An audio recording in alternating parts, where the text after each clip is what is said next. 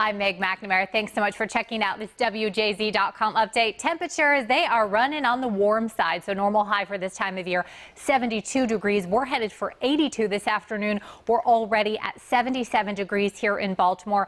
Winds are out of the south, so we had that lovely, lovely weekend with sunshine, temperatures in the 70s, and low humidity. Today, a little bit different. The humidity making a slight comeback a stronger comeback, though, over the next few days. As we run the Futurecast, nothing at all to show you for today. And we know when we're quiet here on the Futurecast, that just means it's going to be lovely as you step outside. For the most part, solid sunshine today. Tomorrow, we do have a chance for a few showers thanks to that stationary front that will kind of be draped to the north of us for the majority of the day. Wednesday, sunny and dry conditions return. Thursday, we have that cold front move through. We could see a few more clouds out of that system, perhaps a shower, but I think for the most part, that will be a dry front for us.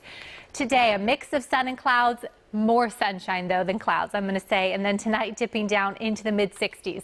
Let's take a look at our seven day forecast here. There's that chance for a few spotty thunderstorms for tomorrow.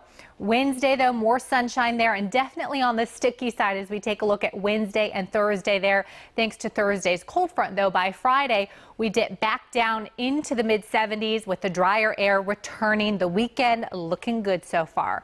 I'm Meg McNamara with an update coming up on WJZ.